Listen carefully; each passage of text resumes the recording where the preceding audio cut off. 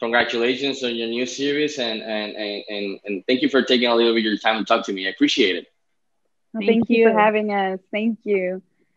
I wanted to ask uh, Noemi, uh, you play Selena's sister in the series. Can you tell me a little about how you prepared for this role? Did you watch old footage, photographs, notes, talk to the family?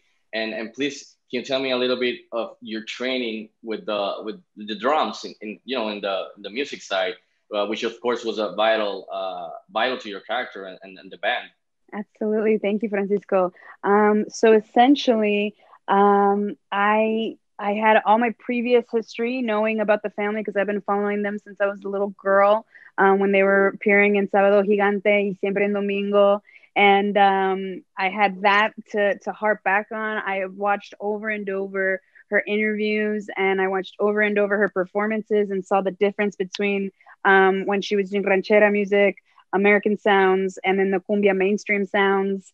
Um, got to see how she changed her body language a little bit when you know from girl to woman and and then um what what else i cut my hair my long hair and permed it for the role i changed my general appearance and then i didn't know how to play the drums beforehand so i um, was given um, an hour twice a week uh, with our music instructors antonio pontarelli and kiko Brenesi and my drum instructor and uh, by the grace of god and my discipline I, I rehearsed every day twice a day even before I went into rehearsal with them so I could capitalize on the time I had. And it was a demanding instrument to say the least. It was very challenging. And that really helped me shape, you know, um, before grief, Suzette, you know, because we've seen a lot of her post grief and then as a CEO, but who was she before that? And if she had to learn this challenging instrument as a as a child, as a girl who wasn't as musically enthusiastic as her as her siblings, you know, it was really fun to have that experience as Noemi, the actress, and then take all of that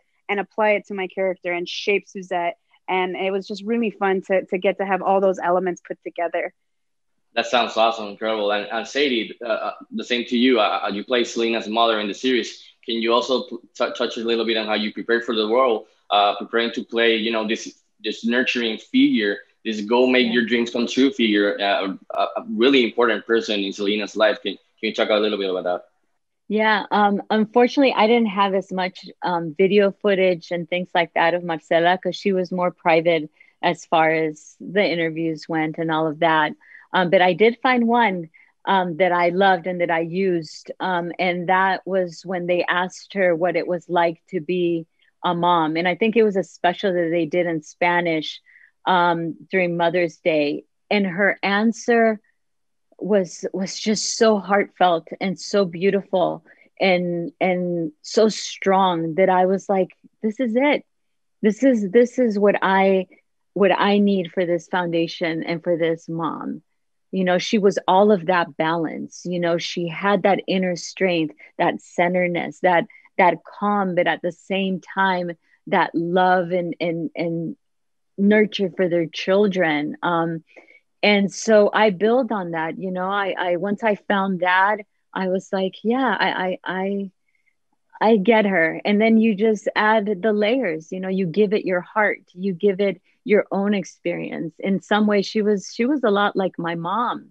Um, and she she had very similar um, ways of reacting to things based on on um, um, sound bites that I heard from Suzette. She was very generous, and Suzette helped a lot um, with giving us some some recordings and some recordings and some information.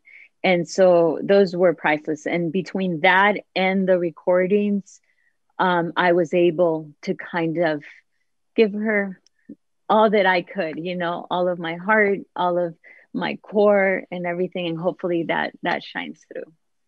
I, I mean, I'm always amazed by the process of you guys getting to these characters, especially people who are, who are real. So, uh, congratulations again on, on the series, and thank you for taking a little bit of your time to talk to me. I appreciate it.